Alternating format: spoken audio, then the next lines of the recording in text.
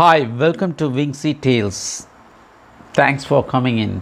If you do like our content, please do subscribe. That will motivate us to create more. This is a Zen story told by the great master Osho from India. When we face very terrible situations in life, we don't know what to do. We are panic stricken. Our mind is filled with fear and anxiety. And we are pretty much confused,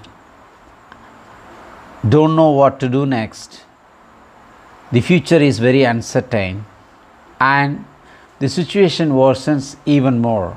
It becomes more chaotic. So, in those situations, we have to remember the story and apply that, it will work. The sin of fear. A Zen master and a few friends had gathered and they were eating and talking when suddenly there was an earthquake. The building that they were sitting in was a seven story building and they were on the seventh story, so life was in danger. Everybody tried to escape. The host, running by, looked to see what had happened to the master. He was there with not even a ripple of anxiety on his face.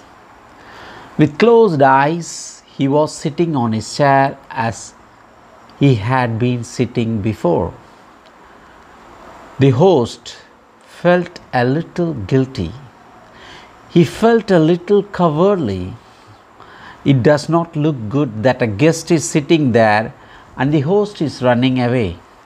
The others, the other 20 guests, had already gone down the stairs, but he stopped himself, although he was trembling with fear, and he sat down by the side of the master. The earthquake came and went. The master opened the eyes and started his conversation, which, because of the earthquake, he had had to stop. He continued again at exactly the same sentence as if the earthquake had not happened at all. The host was now in no mood to listen. He was in no mood to understand because his whole being was so troubled and he was so afraid.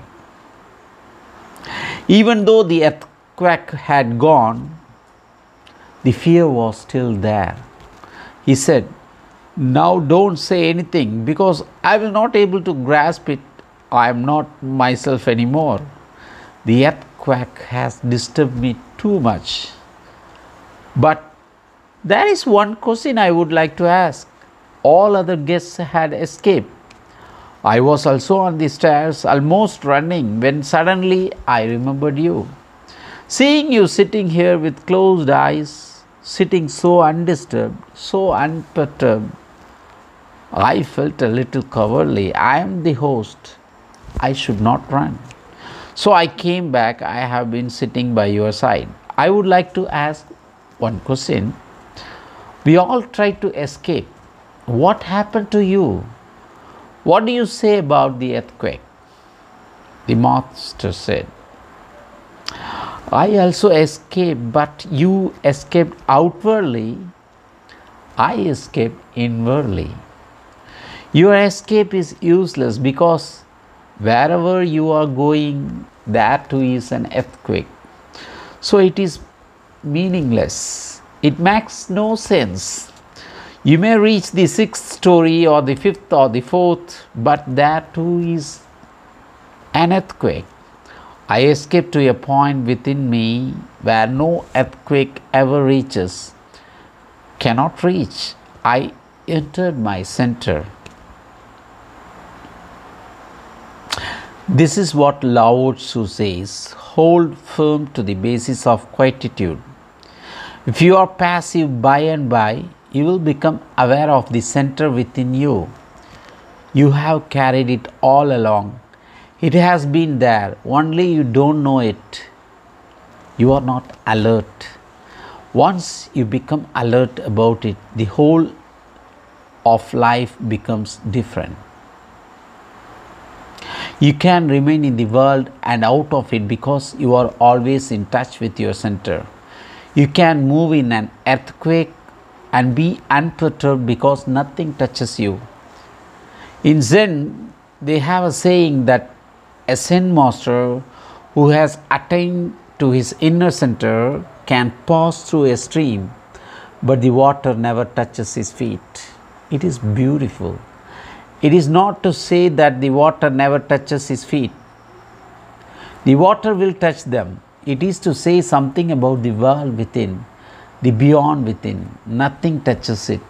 Everything remains outside on the periphery. The center remains untouched, pure, inner.